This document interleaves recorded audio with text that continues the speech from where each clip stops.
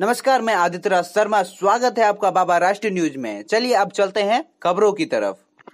तेज आवाज़ में गाना बजाने को लेकर पड़ोसियों में विवाद। एक व्यक्ति गंभीर। धनबाद शहर के सदर थाना क्षेत्र, बेकार बाँध शंकर नगर में दो पड़ोसियों के बीच तेज आवाज़ में गाना बजाने को लेकर रविवार को झड़प हुई, जिसमें एक व्यक्ति गंभीर रूप से जख्मी हुआ।